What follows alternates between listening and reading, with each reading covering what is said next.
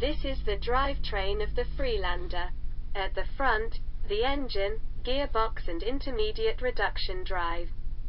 In the rear the final drive which is more commonly known as the rear differential. In the middle is the viscous coupling. The photograph is of the central shaft of the intermediate reduction drive and has been labeled ABC. It is a solid shaft and receives its drive from the engine via the gearbox at gear B. So for every turn of B, A and C also turn exactly one time.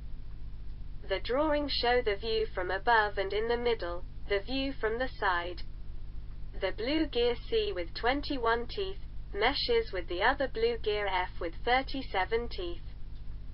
That means that for every turn of the solid shaft ABC, then F turns 0.5675 times.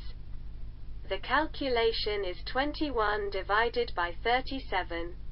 The yellow gear A with 38 teeth meshes with the other yellow gear R with 21 teeth.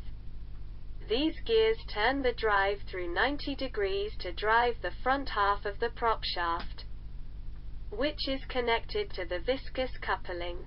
With the larger gear A turning once, it forces the small gear R around more times, in fact 1.8095 times. The calculation is 38 divided by 21. The blue gear F is connected to the front drive shaft and so the front wheel turns to the same rate as the blue gear F. Thus it can be seen from examining the intermediate reduction drive that the front half of the prop shaft is turning much faster than the wheel. This can be calculated by dividing the prop shaft speed by the wheel speed and this will reveal that from every rotation of the wheel, the front half of the prop shaft turns 3.18 times.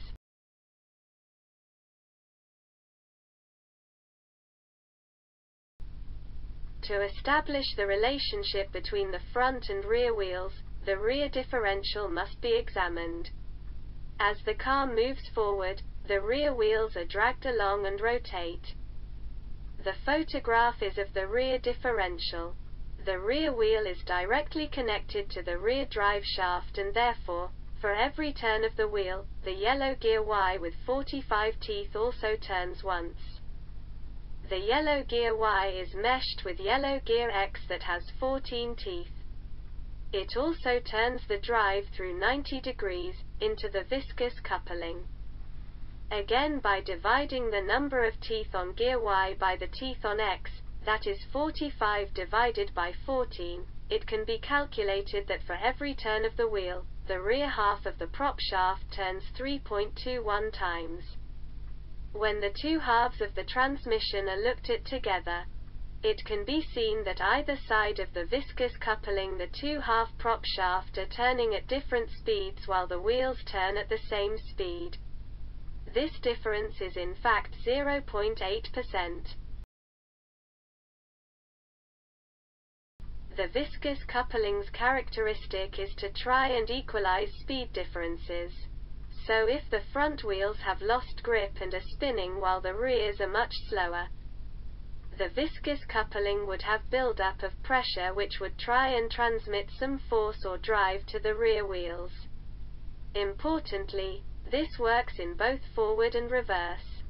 This in turn means that if the rear wheels were turning faster, or to be accurate, if the rear half prop shaft entering the viscous coupling was turning faster, this would also create a build-up of pressure and the viscous coupling would be trying to equalize the speeds that is to say slow the rear wheels down.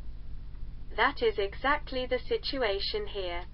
The rear half of the prop shaft in normal driving is in fact turning faster than the front and if the viscous coupling was to do anything, it would try to slow the rear wheels down to equalize the speed of the front. This is called underdriven. This gearing ensured that no drive goes to the rear wheels. In practice, the design of the viscous coupling is such that at these small differences it does not have any effect and does not try to slow the rear wheels down.